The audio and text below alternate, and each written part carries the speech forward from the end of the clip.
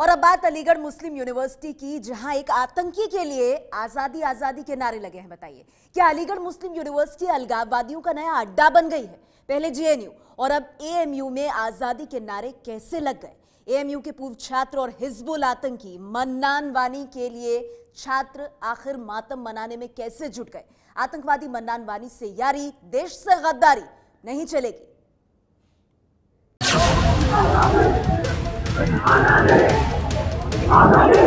ये नारा सुना आपने।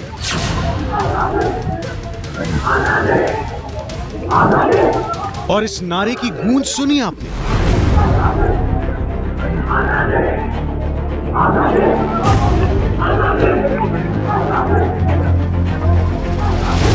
ये वही नारा है जो देश तोड़ने वाले लगाते हैं। ये वही नारा है जिसे देशद्रोह कहते हैं।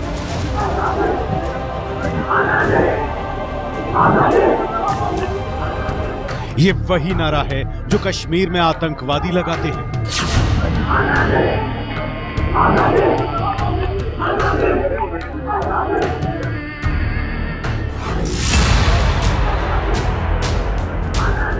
लेकिन ये नारा कश्मीर में नहीं लग रहा। ये जगह है उत्तर प्रदेश का अलीगढ़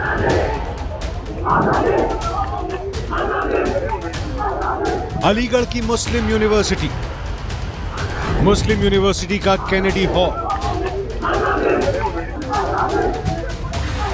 कैनेडी हॉल के बाहर की ये वो जगह है जहाँ आज़ादी आज़ादी का शोर मचा। ये वीडियो पुलिस के पास पहुँचा और इसकी जाँच जारी है। तो क्या अलीगढ़ मुस्लिम यूनिवर्सिटी में अलगाववाद अपने पैर पसार रहा है?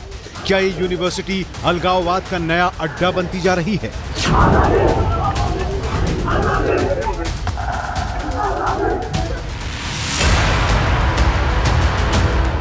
ऐसा दावा किया जा रहा है कि देश के खिलाफ बंदूक उठाने वाले आतंकी मन्नान वानी के लिए कल कुछ कश्मीरी छात्रों ने मातम मनाया और आज़ादी आज़ादी के नारे लगाए।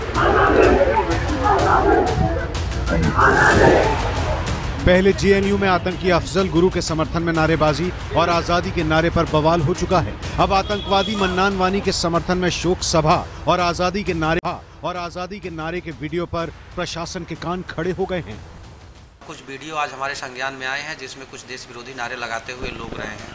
इस तथ्य को संज्ञान में लेते हुए सिविल लाइन्स थाना क्षेत्र से संबंधित चौकी प्रभारी द्वारा दो नामजद व्यक्तियों के खिलाफ और कुछ अज्ञात व्यक्तियों के खिलाफ ऐसे आपत्तिजनक नारे लगाए जाने के कारण उन पर मुकदमा पंजीकृत कराया गया है। देश की राजधानी दिल्ली से करीब 200 किलोमीटर दूर यूपी के अलीगढ़ में आखिर देश के दुश्मन के लिए शोक सभा क्यों हो रही है? आखिर देश के अंदर देश विरोधी नारे लगाने की हिम्मत कैसे हुई? आतंकी के मरने पर शोक सभा हो रही थी तो यूनिवर्सिटी प्रशासन, क्या कुंभकर्णी नींद सो रहा था? जम्मू कश्मीर के हंदवाड़ा में कल सुरक्षा बलों ने जिन दो आतंकियों को जहन्नुम पहुँचा दिया, उनमें से एक था मन्नान वानी। वही मन्नान वानी, जो अलीगढ़ मुस्लिम यूनिवर्सिटी में पीएचडी रिसर्च स्कॉलर था।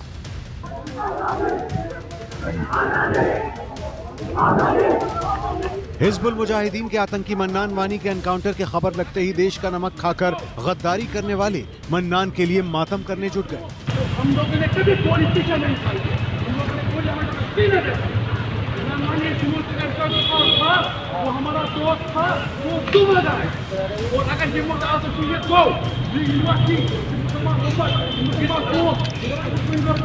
तो जानकारी के मुताबिक आतंकी मन्नान वानी के लिए एएमयू में पढ़ने वाले करीब 150 कश्मीरी छात्रों ने श्रद्धांजलि सभा का आयोजन किया। ये तस्वीरें उसी श्रद्धांजलि सभा की हैं।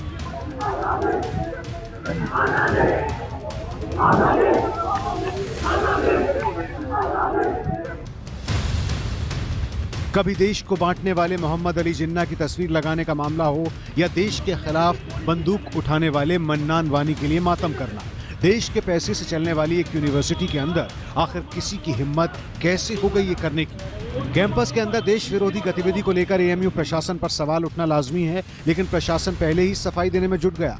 यूनिवर्सिटी ने उसके खिलाफ डिसिप्लिनरी एक्शन लेना शुरू कर दिया है और नौ लड़कों के, नौ लड़कों को शोकात नोटिस इशू किया गया है और एक इंक्वायरी कमेटी बनाई गई है जो बहत्तर घंटे में अपनी रिपोर्ट सबमिट करेगी। सवाल तो ये उठता है कि आखिर आतंकवादियों के लिए सहानुभूति रखने वाले छात्रों पर आखिर एएमयू प्रशासन सख्ती क्यों नहीं बरत रहा? शोक सभा के लिए 150 छात्र जुटे तो फिर कार्रवाई नौ पर ही क्यों? इसी साल देश के बंटवारे के लिए जिम्मेदार जिन्ना की तस्वीर लगाने पर एएमयू की पहले ही काफ़ी थूथू हो चुकी है। अब आतंकी के समर्थन में श्रद्धांजलि सभा को लेकर बीजेपी सांसद सतीश गौतम ने मोर्चा खोल दिया है। यूनिवर्सिटी में पढ़ने वाले छात्र, जो कश्मीर के छात्र हैं और जो वहाँ पर नमाज़ पढ़ना चाहते हैं उसके पक्ष में ऐसे जो बच्चों को चिन्हित करके उनको यहाँ से निकाला जाए। मूल रूप से जम्मू कश्मीर के कुपवाड़ा का रहने वाला आतंकवादी मन्नान वानी पहले एएमयू का रिसर्च स्कॉलर था। अपनी रिसर्च के लिए कभी अवार्ड जीतने वाला मन्नान वानी कलम की जगह देश के खिलाफ बंदूक उठाने का अंजाम भुगत चुका है। अब बारी है देश के खिलाफ नारेबाजी करने वालों की। ये है एबीपी न्यूज़। आपको रखे आगे।